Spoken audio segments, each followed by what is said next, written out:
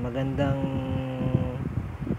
gabi sa inyo mga viewers. Si, si Bossing Busut ito na magbibigay sa inyo na naman po ng konting kaalaman regarding po dun sa pinagawa kong ah, bumper sa likod. Yung ginawa ko po sa inyo regarding sa bumper yun yung yung how to pre- prepare ano put them to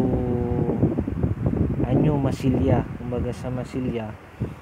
And then after yung masilya naman yung pintura naman mga viewers. By the way paki-click and subscribe naman po para ma-notification ko kayo sa panibago ko pong vlog sa inyo mga viewers. Ngayon view uh, mga mga viewers at saka mga mga bossing sa inyo po. Ah, magbibigay lang po ako sa inyo ng tip regarding po doon.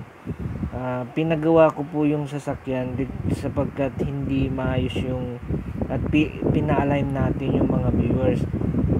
Tapos pagka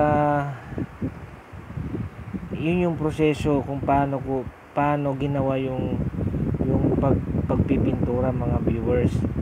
At saka na-send ko na po sa inyo yung yung how to to preparation kung paano umpisan yung pag yung pagpipintura from the, from the start to button nandun na po yun mga viewers. Saka ah, saka kung gusto nyong malaman yung kabuuan please lang paki-comment and like naman o subscribe kayo dyan para makapag-reply ako sa inyo kung ano yung mga dapat yung gawin. Yung mga, sa susunod na aking paggawa ituturo ko naman po yung kung ano yung check engine bakit lumalabas po dun sa sa dash dashboard. Yung mga kung mga sa susunod kong paggawa mga viewers bye bye